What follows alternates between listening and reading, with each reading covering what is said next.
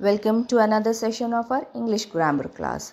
Today students, we are going to do chapter number 5 present perfect tense. So let's begin our journey of knowledge and learning. Welcome to the grammar session. In the previous lessons, we learnt about different tenses like simple present tense, present continuous, simple past tense, past continuous, simple future. Today, we'll start a new tense called the present perfect tense. So let's begin. Now children, present perfect tense is the first of the advanced tenses. It is advanced not only in terms of grammar but also in the way we think about tenses.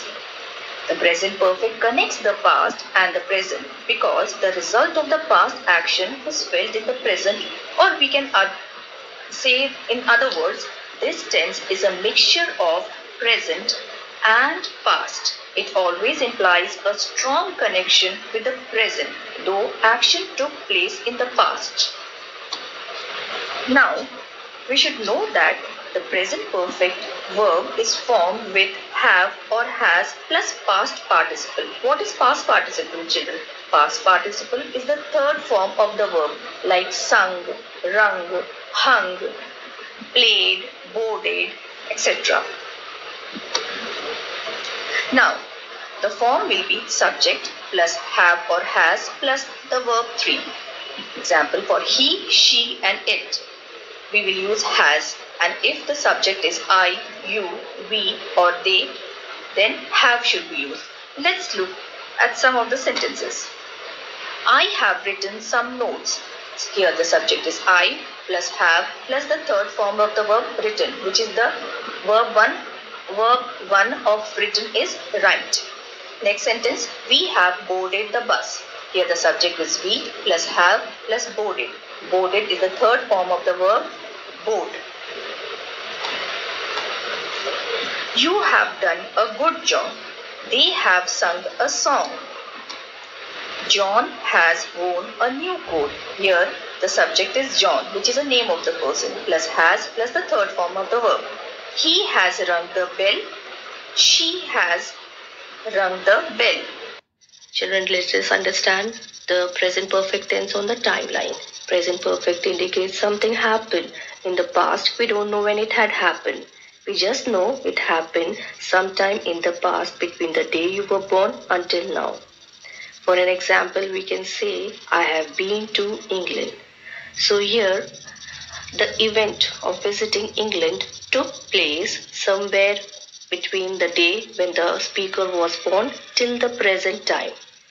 Now, there are few more situations where we can use the present perfect tense. The present perfect tense connects the past and the present because the result of the past action is felt in the present. Let us see the examples.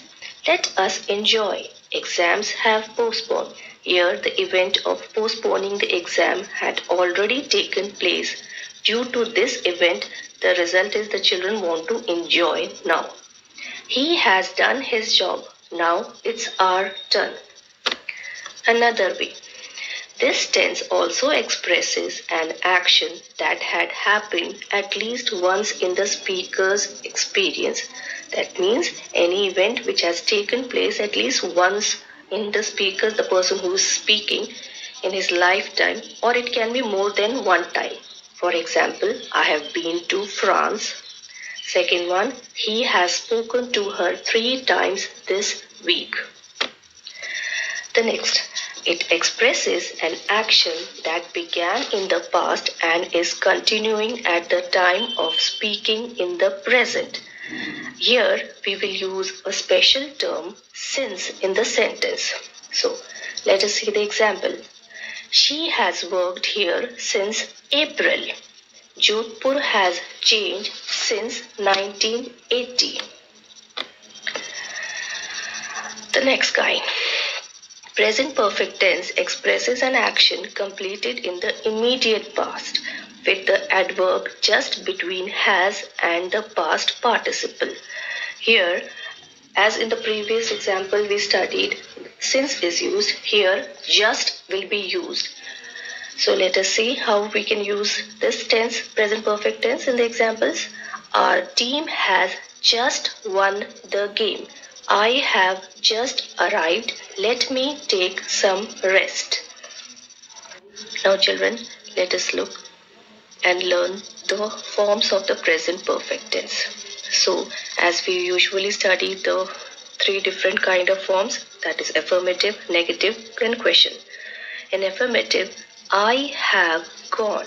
Here the subject is I have is the auxiliary verb which we are supposed to use and gone is the third form or the past participle form of the verb.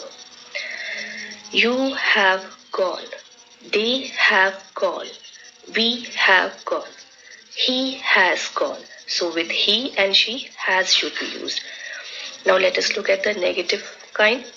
I haven't gone. You haven't gone. They haven't gone. We haven't gone. He hasn't gone. She hasn't gone. Now the last kind, the question types. Have I gone? Here, one thing is very clear that the auxiliary verb should take the first place followed by the subject. Have I gone? You have have you gone? Have they gone? Have we gone? Has he gone? Has she gone? So children, that's all for today's session. Hope you have understood the topic.